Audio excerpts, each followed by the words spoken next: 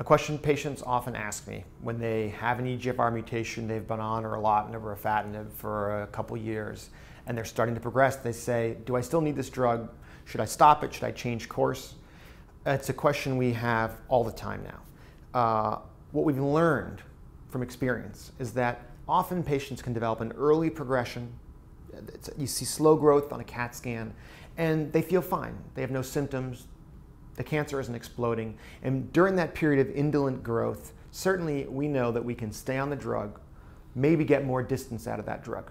All right, maybe save it, look for a clinical trial, uh, go take a vacation, uh, be vigilant, and wait till a more aggressive progression that occurs down the line. The radiologist doesn't tell us when a drug's failing. An oncologist and a patient make that decision as to when it is that the cancer is causing symptoms, maybe has a new metastasis, and we need to change course. That period of treatment beyond progression, I mean, that's standard of care. That's about finding the clinical moment when we need to change course. Any patient with a targeted therapy on a drug they're tolerating should be doing that and should save it until a clinical time down the line. The more challenging question is when there's real clinical progression, when you're developing pain from a new bone metastasis, is it appropriate to still use that targeted therapy? Historically, our only drugs for lung cancer were IV cytotoxic chemotherapies with real toxicity, where more drug is more toxicity. Now with a targeted therapy, it's milder, it's much more active, it's much more aligned with the patient's biology. The calculus has shifted a bit.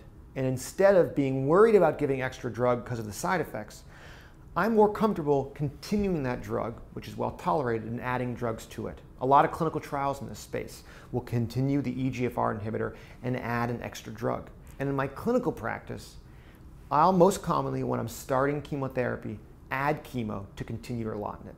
And that's because we know for EGFR mutant lung cancer, resistance is heterogeneous. There could be some cells that are resistant, some cells that are still sensitive. I've had a patient where the, the rebiopsy showed small cell transformation. Small cell is a weird new disease, right?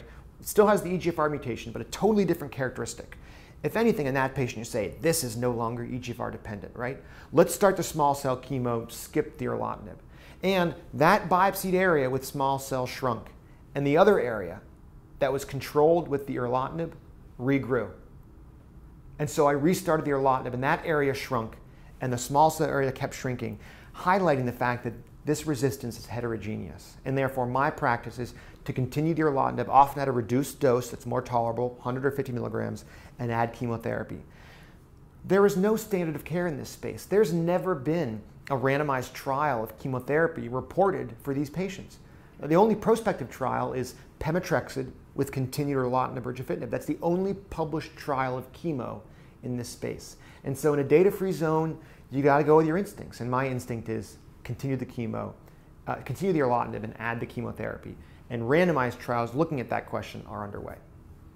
The next question is do we apply that to ALK, to ROS, to BRAF, to other genotype defined subsets of lung cancer who are gaining benefit from an oral targeted therapy? And my answer is no. That I think there is a different biology to each of these. EGFR mutant lung cancer is unique because 50% of patients, have T790M resistance, this one specific type, and that type has an indolent growth.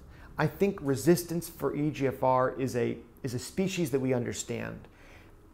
In my outpatients, I do not continue crizotinib and chemotherapy. I think that's still a data-free zone. We need data. We need to ask this important question that we're asking about erlotinib now with crizotinib for ALK and ROS, et cetera, going forward. But it's not such a universal principle that I'm applying it to all of my patients on targeted therapies for all these various types of diseases. You can say in prostate cancer, when you get resistant to Lupron, you add chemotherapy. Therefore, we should always add chemo to targeted therapies, right? But in breast cancer, when you get resistance to tamoxifen, you don't add chemo, you switch. And so we don't know if in lung cancer we're more like prostate cancer or more like breast cancer. We have to test that question.